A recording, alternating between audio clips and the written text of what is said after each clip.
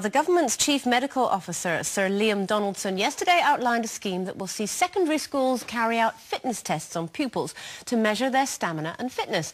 The results of the BLEEP tests, which see children perform shuttle runs between two points at ever-decreasing time intervals, will be passed on to parents if their child fails, and they'll be warned that their child is at risk from heart disease, brittle bones and also obesity. But do you think it's really the school's responsibility to monitor our child's health, or is it up to the parents? Well, I think once again, you know, we're expecting the schools to take over parenting again. You know, I mean, you must know as a parent if your child, and I'm not even talking about if your child's overweight, you know, if your child's of an, an, an average weight and is sitting at home all day doing no exercise, mm -hmm. you have to know that that's not healthy if they're sitting in front of a computer. So I think it's a bit, it's a bit, um, I think it's nanny a bit strong. State. It's a bit nanny state to expect the schools then to then, because really, if that's the case, then it's not really the kids that need to be informed, it's also the parents, mm. as in they need to be educated as well. and on the one hand, we say to, you know, you've got these parents going, don't you tell my child off, don't you smack my child, or don't do this with my child, but then we're expecting them to teach our children how to, you know, Yes, except that I do think, uh,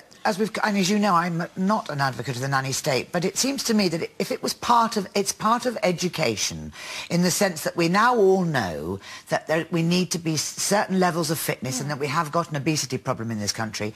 And people sometimes do need somebody from the outside to say, this is not working. Now, the fact that parents appear at the school and, and proceed to beat up a teacher, supposedly, because their child is behaving badly, that is the extreme. Mm. And we know that it it happens, and it's terrible, but it does, shouldn't stop, I think, education or, or schools to set a level. Well, I think to teach kids how to to, to teach kids that it's important to remain fit, but I don't think actually testing them and going, oh, your child's failed no. and sending it home is going to is going to help. The, the, fun of it out of it. I mean, I mean, I'm sort of I'm sort of on the fence a little bit about whether it should should be monitored or not, and I sort of agree with both of you. But I just think, I think we've taken the fun out of fitness for children. Why don't we just bring back the proper sports day? Bring back the fact that there's nothing wrong in winning the egg and spoon race. Yeah. Do you know what I mean? Because mm, I think yeah, we've yeah, just taken all the competitive aspect out of out, out, of school. No. You can't compete, and yet life is about competition. And actually, you could have dancing, for instance, in schools. That's become a big thing. Ma make it fun. I just don't think there's enough fun. And as I say, I just think, you know, Sports Day used to be not just for the children. It was a whole family event where you mm. all went and, you know, you could take your orange juice or, in my case, the champagne or whatever you wanted to take. but just make it like a, a, a, a fun day. And I well, think there was something exciting you're, about You're Louis just coming up to the level where, the age where he's going to go to secondary school. Would you be happy to have his fitness monitored? Well, I mean, I'm, I'm, I'm lucky that neither of my children have, have, have, have, had, a, have had a weight problem.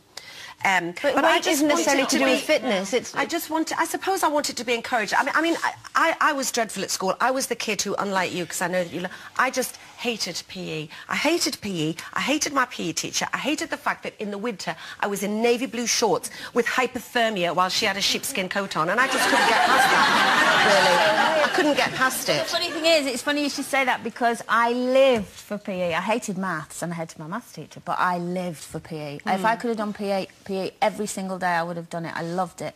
And um, my kids have loved PE, Ciara loves PE. And I have to say, well, certainly in the schools they've been in, the um, the physical education has been fantastic, you know, and all the after-school activities that they can do, yeah, you know, dancing, a, sport, you know, swimming, that sort swimming, of all thing. of that. I mean, it's been brilliant. I mean, I loved PE um, in terms of the out-of-school stuff because I used to swim and play tennis. They were my mm. two sort of things, but I only liked them in the summer absolutely hated oh, in winter. I, to me, I thought it was absolutely barbaric to make you stand there. And like you're saying, this little skirt and a T-shirt with a hockey stick going... What's the point of this? Excuse me, it's not... But we're all the better for it. Look at us.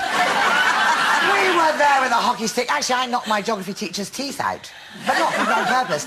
But no, the thing is that in the winter, you have... No, no, I didn't. Um, well, maybe. I don't know. I can't remember. I can't remember, Your Honour. Um, but but seriously, hockey and the kind of sports you do in the winter, mm. you warm up. It's yeah. not that you stand there. Exactly. You know, you, by the time you run around, to try and they're not all big. I wasn't big, oh, but it was part of life's rich past. I had my nails now, to do. Nobody's. Well, there you are. You see, and look I where it got you. girls like her at school. What? Well, I used to oh, hate just girls making, like you. Just making excuses. With your bully off. You know. Actually, that's something I never did. Never played hockey. okay. Uh,